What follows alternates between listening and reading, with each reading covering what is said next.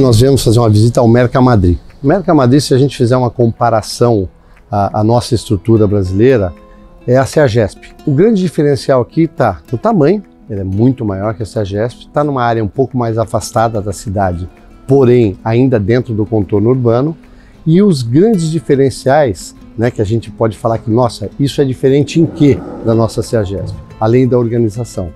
Nós temos, primeiro, produtos do mundo todo, né, a importação é muito grande, isso garante que a sazonalidade seja muito mais equacionada, mais diminuída. Uma coisa que me chamou muito a atenção, né, que a nossa guia falou aqui na apresentação do Mercamadrid, é que o Mercamadrid é considerado um produto essencial, assim como foi durante a pandemia a polícia, os serviços médicos. Então isso torna, isso dá um diferencial é, é competitivo à nossa qualidade de produtor, de comercializador de, de produtos alimentícios. E por estar situado numa região próxima a Madrid, mas ao mesmo tempo retirada, você tem um fluxo muito menos influente na cidade. Você consegue equacionar o trânsito muito, de forma muito mais assertiva. Visitamos hoje o Mercamadrid, com Sebrae São Paulo, Percebi algumas diferenças em relação aos nossos mercados no Brasil. Primeiro, a sustentabilidade, a preocupação com a reciclagem dos materiais, com a separação. Tem uma área aqui dentro mesmo para separação e reaproveitamento. A taxa de desperdício é, é muito pouco. A limpeza do local, mesmo durante as vendas, durante a comercialização, que é um volume alto, mas assim, está tudo muito limpo, muito organizado.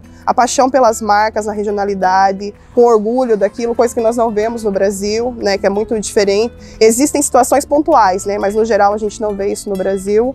E também a transparência da administração do local em relação assim aos comerciantes que aqui estão, as pessoas que vêm para poder comprar, assim, a transparência deles é muito grande. Muitas vezes a gente não tem acesso a isso no Brasil.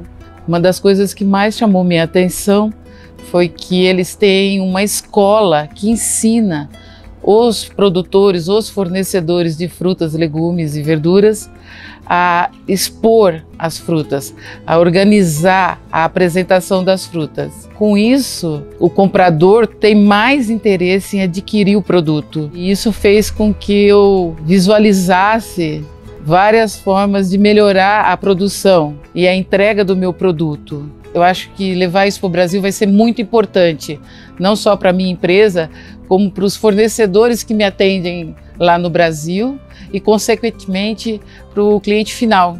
Acho que isso vai ser uma experiência muito bacana que levo daqui.